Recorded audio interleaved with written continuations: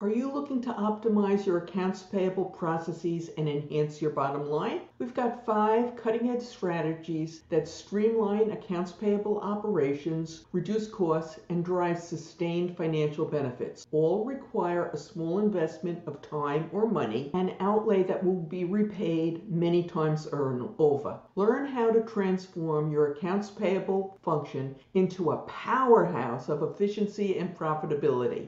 Make sure you stick around until the end when we discuss the one, one of the enhancements you can no longer afford to ignore. Let's get started with the one that can cost less than $100 while saving countless hours, time that could be spent doing some value add process improvements or analytics. Accounts payable enhancement number one. Get all your invoice processes, and for that matter, everyone who works in accounts payable, two screens for their computer. When COVID hit at AP Now, we did a survey after a few months asking our members who are accounting and accounts payable professionals, controllers, people like that, what they missed most about the office. Leading the way were people saying they missed their coworkers and their staff. But right on the heels of that were people, numerous people, who said they missed having the two screens on their computer. It makes it easier for them to work, especially if they're processing invoices, where they can look at the invoice on one screen and do the data entry on the other. Likewise, they need otherwise they need to flip back and forth between the two screens, taking longer with each in, invoice and increasing the odds of them making a data entry mistake. As accounts payable departments everywhere proceed down the digital transformation journey, two screens are likely to become the de facto norm. And they don't cost that much. A quick internet research revealed that many are on sale for less than $100.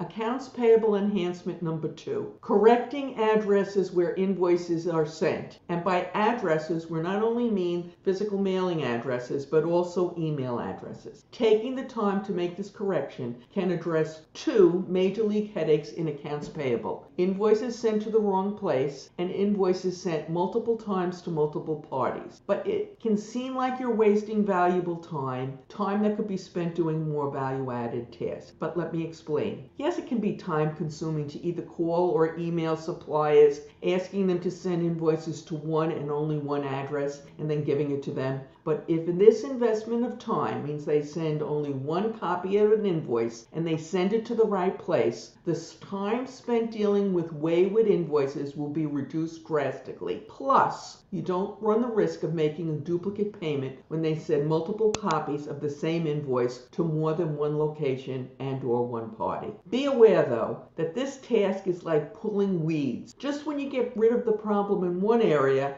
it pops up someplace else. You can solve the problem of duplicate copies of invoices from a particular supplier, and then the person responsible for your account um, moves on and another person takes over. The new person comes up with a brilliant solution to make sure you have their invoice, you got it, by sending multiple copies of the same copy, the same invoice, and then you have to start all over again. But it's worth doing it. My hope, and we appear to be headed in that direction, is that we will get the point where all invoices are delivered either by email or through an automation portal solution. When this happens, the, invo- the issue of invoices being spent both by email and snail mail di- disappears. Then you'll only have to deal with the issue of invoices being sent to multiple people. Accounts payable enhancement number three. Over three quarters of all accounts payable groups in the United States are responsible for issuing 1099s, primarily in January. A truly thankless task. They are primarily responsible for the two forms known as the 1099 MISC and the 1099 NEC. These ubiquitous tax form reporting forms are governed by a very precise set of rules issued by the IRS. Make one tiny mistake and you'll find yourself either with an irate recipient demanding a correction, which has its own set of rules and procedures, or a dreaded B notice is about a discrepancy. As you can probably guess by this point, responding to those, e-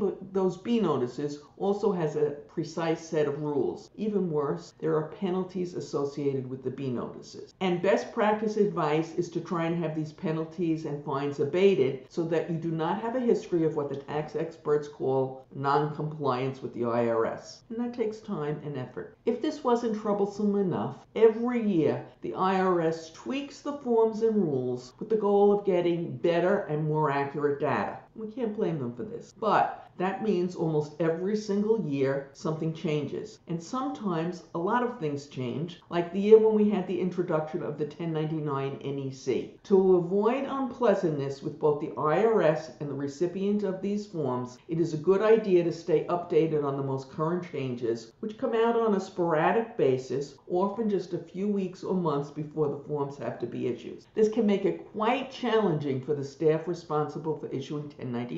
Do you feel exhausted? just by hearing me talk about it? I do, and I understand. That's why best practice organizations make sure that every year they put some money in the budget for, for training the staff responsible for issuing these forms. The annual 1099 review of updates and changes, as well as a review of the current processes, is a small investment of time and money that is well worth it if you avoid the aggravation of dealing with unhappy contractors and IRS forms. Accounts payable enhancement number four. Update contact information in the master vendor file is another truly thankless task, and to be honest, many skip it. Part of the reason they don't bother it is, is it is so hard to get suppliers to respond, so it can seem like a big time waster, especially when only something like 10% of all suppliers respond when asked to update this information. To be fair, until the last few years, it was probably it probably was fine not to update this information. But with the explosion of those phony please change my bank account emails and the need to verify every single one to make sure they came from a legitimate source, that has changed. As those watching this are probably painfully aware, Doing these verifications can take a bit of time, and few accounts payable departments have extra time. Yet, if these requests are not verified, a phony request can sneak through, and the damage that one phony email that goes unrecognized can do can be in the millions of dollars. That's why it's a good idea to take the time and update the contact information in the master vendor file so when one of those phony requests comes in, you can identify it quickly without spending an inordinate amount of time doing so. Every organization should invest the time at least once a year to update as much of the contact information in the master vendor file as possible. For if you don't, and one of your employees is having a difficult time finding someone at your one of your supplier's offices to confirm a change, they may unintentionally send the funds to the address in the fraudulent email. The likelihood of this increases if the last 100 emails that they have come have that have come in and they've verified have all been valid and there is a time crunch. And criminals are really good at estimating when you are going to have a time crunch. Accounts payable enhancement number five invoice or accounts payable automation. A lot has changed in the last few years when it comes to automation in the accounts payable space. It is no longer prohibitively expensive for all but the largest of companies. In fact, in some cases, it's downright cheap and I say this in a good way, it can be a real bargain, which is why you can't afford to ignore it. There are many options on the market today with an option for every pocketbook. I believe we are fast approaching the point where every organization will use some sort of automation solution in their solution in their accounts payable space. In the same way every organization has a computer on the desk of every professional working in accounts payable, and no one would think of doing any sort of numerical analysis without opening a spreadsheet. We believe this issue is so important. We recently put together